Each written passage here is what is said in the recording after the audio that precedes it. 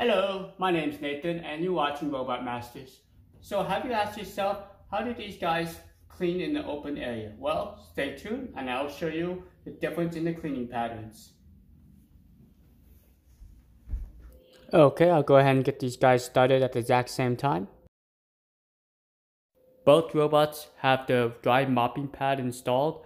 In this cleaning pattern, they will continue forward until they hit a wall or object and then they rotate 180 degrees to go the other direction. Now here's where it gets interesting. On the Braava 240 in damp mode, it will provide the same spray, but also it will provide a vibrating head, which is unique just to the 240. The 380T and also the Braava M6 does not have a vibrating head, it's a static head. The M6 also has additional feature where you can change the wet mopping behavior. You can do standard, deep, or extended coverage.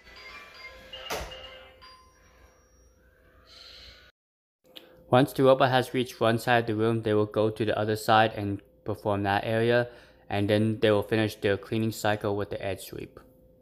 So with these robots, you want to just take a towel or a physical object to prevent them from going onto the carpet. Sometimes they will get on the carpet, sometimes they don't. Here's the look of the wet mopping mode. There's two unique features to this.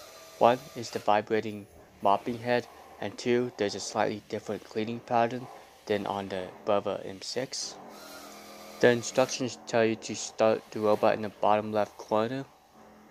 So you will see that the robot will try to give itself additional space because you will notice the new cleaning pattern. It will go straight and veer off to the left a little bit, back up, go straight, and then veer off to the right, and repeat the process.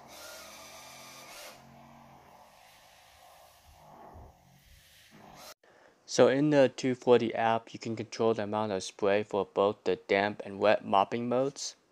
So unlike the Braava M6 where there's a physical spot button you can push, you have to go to the app to get the spot function feature.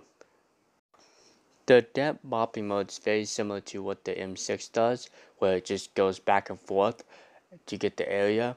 One thing to note is the 240 has the vibrating head enabled. So if you're interested in considering buying a mopping robot, I would suggest looking at my Braava M6 versus W400 video.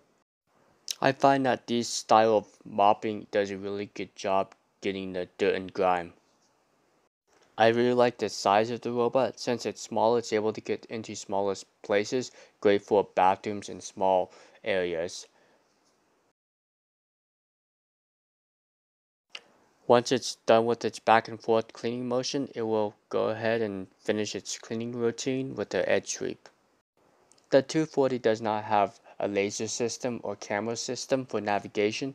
It relies on its front bumper. Also, there's some special sensors like wheel encoders, accelerometers, and gyros to help give it a rough position of where it's at in the room so it knows where it's cleaned and where it needs to clean. Also, it's capable of figuring out where its starting position was. So as you recall, I started the robot in that corner. Let's see how close it got.